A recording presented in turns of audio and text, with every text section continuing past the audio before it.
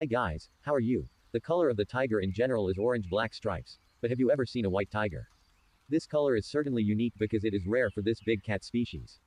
During this time the tiger is often referred to as the tiger, including the white tiger, which is said to be the same as the white tiger. Even though tigers and leopards come from two different species. Although both belong to the Felidae family and the Panthera genus. But the species can differ depending on the type. Tigers are included in Panthera tigris, while tigers are like leopards including the species Panthera pardus, and the jaguar has the species Panthera onca.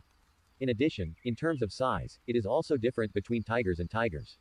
Tigers are much larger than tigers which are classified as big cats. Tigers can reach hundreds of kilogram while the adult tiger is only about 40 kilogram. The following is a scientific classification of the white tiger, quoting from the Smart Animal book written by Jumanta. Kingdom, Animalia. Phylum, Chordates. Class, Mammals. Order, Carnivore. Family, Felidae. Genus, Panthera. Species, Panthera tigris.